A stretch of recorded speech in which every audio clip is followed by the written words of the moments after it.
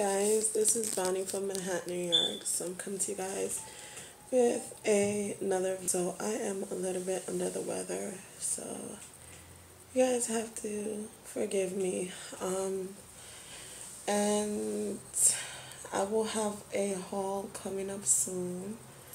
Um, I'll have a shopping haul coming up. Um, Bella wants to say hi, guys. Bella saying hi.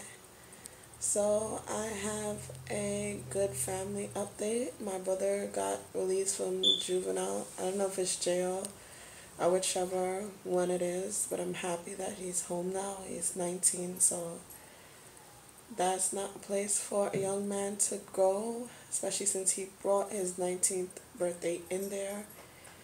Um, he said he'd been home, I guess today makes three days. So that's a super cool family update as for me. Um, yeah, he's a goofball of the family, so that makes us complete.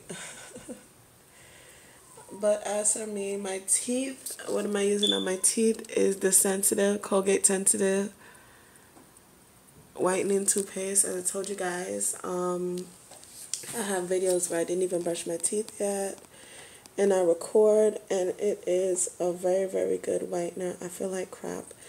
I just took some um, Alka-Seltzer night nighttime cold and flu. Uh, two large pills by the way. And hopefully it kicks in within the next hour because my head has been hurting me all day. Um, I spoke to an ex of mine. I haven't really talked about relationship on my channel um, cause like I am, I try to endorse to you guys that I am waiting to get married. So I want to wait for the perfect person. Like I don't just want to give myself away to any and anybody. I want it to be the perfect person, the right person.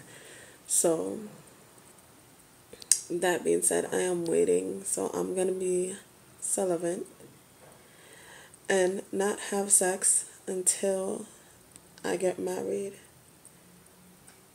Like I broke it I broke that promise when I was engaged. We started having sex when we were engaged. And yeah, I'm to wait until I get married to have sex again. So that's my 2015 resolution. And that's what I'm going to be doing. Sex doesn't change much, anyways uh, it relieves stress, but really how much? Because then more stress comes. So, um, what else? Mm. Yeah, I'm still cleaning my house, trying to get it. Uh oh, have my dress inside out.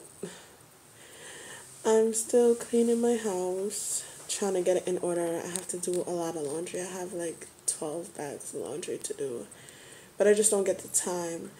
I, I'm a full time student. I have two classes on Monday, two classes on Wednesdays, one class on Tuesday, one class on Thursday, and one class on Friday. I go to work from 9 to 5 on Tuesday, 9 to 12:30 on Wednesday, and 9 to 5 on Thursday. Not to mention um, my two classes that I do have on Tuesday, on the other day, on Wednesday. Plus, I work that day. So I have a jam packed schedule. During the week, I have, um, let me count this exactly. I wake up every morning at 5, 6, 7, 8, 9, 10, 11, 12, 1. 6, 7, 8, 9, 10, 11, 12, 1. So I have six, seven, eight, nine, ten. I have eight hours from five o'clock in the morning when I wake up on Monday till one o'clock in the afternoon when I have to leave my house to make sure I'm in school by three for my two classes on Monday. That's not a lot of time because technically if we're looking from a nine to five schedule and I have to go to a doctor's appointment or anything, then we move from 10 11 12 1 that's only four hours. What can you really do in four hours? You sit down and wait for at least two and a half. Um, so far i've canceled two ophthalmologist appointments. Um, regular doctor visits i've canceled two as well.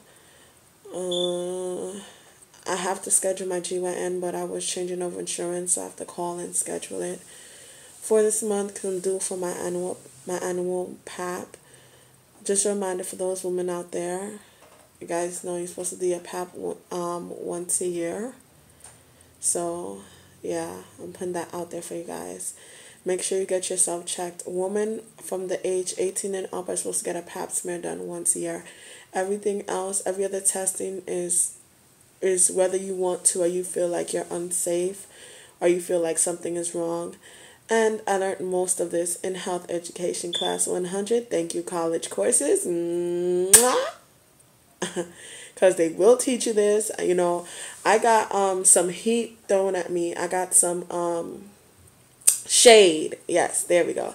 I had some shade thrown at me for the topics that I put on my YouTube video. My YouTube video by a couple of people they threw me some shade. And I was like, are you serious? Like, YouTube YouTube is an open field. You know what I'm saying? You can find everything. You can watch people give birth on YouTube. Like, are you serious? Does that stop them from getting a job or working where they want to work? Like, there's several women that I've watched them have birth on YouTube. Does that stop them from working how they need to work or anything like that? Like, I think that is so ridiculous.